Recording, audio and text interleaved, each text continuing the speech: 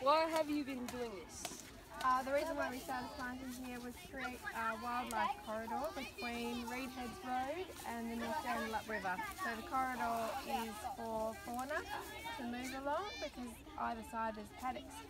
Generally, um, small animals can't move across paddocks. So we created a space for them to move along and have a nice place to live. How long have you been it?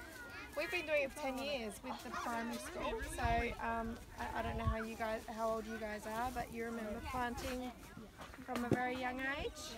So we started in 2007, and if you go up that end where we started, it's really lovely. Lots of birds, lots of logs, leaf litter, shrubs, trees. It's like a, a little ecosystem that we're creating. And why have you been doing it all this time?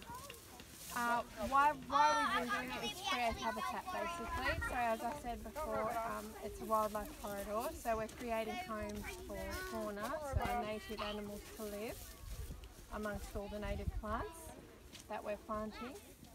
And it um, creates a safe haven for them from foxes and cats and things like that. Thank you. Should we go Take a photo now. Um, if we want to Oh, there, Emma. I can walk a